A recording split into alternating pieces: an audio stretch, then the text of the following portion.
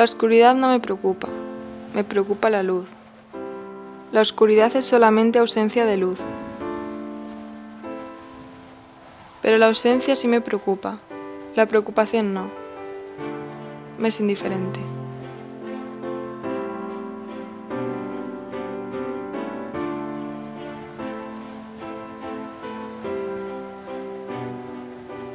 Sin embargo, la indiferencia me preocupa muchísimo.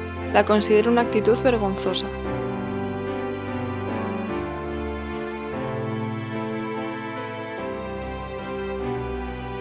Aunque la vergüenza no me preocupa. Antes sí, me preocupaba. Pero a mí me da lo mismo el antes y el después. Mi vida no es un desarrollo tendiente a nada. Por eso la nada no me quita el sueño.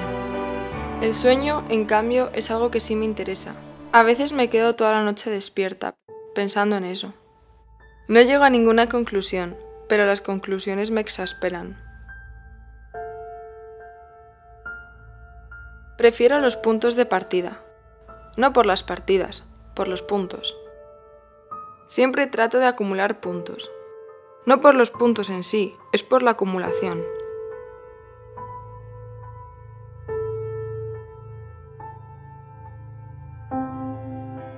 La acumulación entendida por una cosa sola, no como un cúmulo de otras.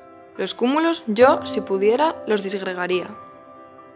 Las cosas tienen que ir separadas, no juntas. Juntas forman otras cosas, y eso trae complicaciones.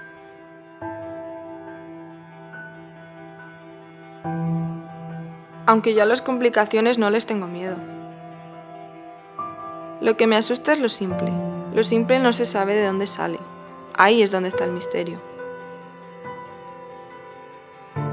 Aunque los misterios, por suerte, no me interesan.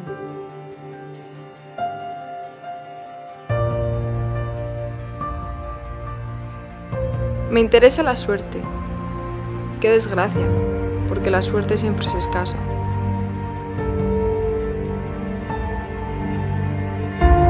Y si dijera que no me preocupa la escasez, mentiría.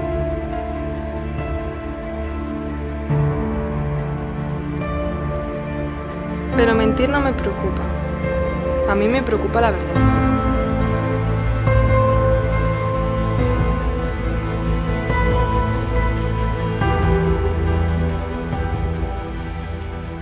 Cuando miento no tengo problema, puedo decir cualquier cosa.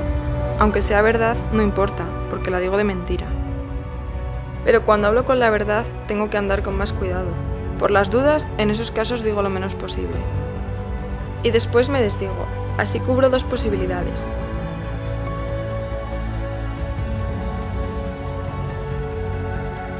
Pero no es que me quiera cubrir, yo hago toda la intemperie. Y si no hay luna, mejor.